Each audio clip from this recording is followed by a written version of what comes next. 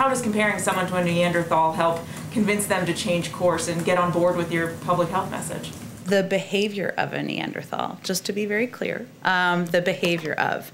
Look, I think the president, uh, what, what, we, what everybody saw yesterday was a reflection of um, his frustration and exasperation, which I think many American people have, that for almost a year now, uh, people across the country have sacrificed.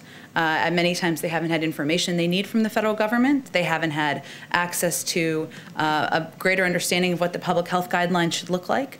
Uh, and those include many, many people in Mississippi, in Texas, uh, in Ohio, Florida, in every state across the country.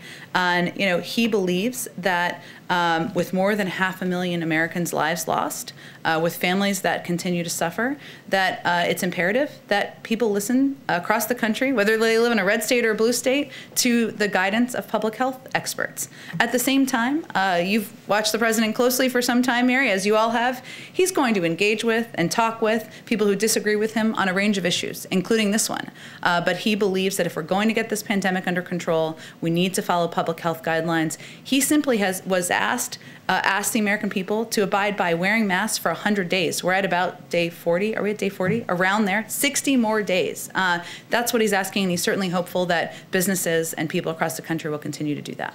Does the prior administration deserve some credit for laying the groundwork? Wh which ones are we following? Well, for instance, uh, former Trump HHS Assistant Secretary Admiral Brett Giroir has said that you're following 99% of the playbook they created on vaccines.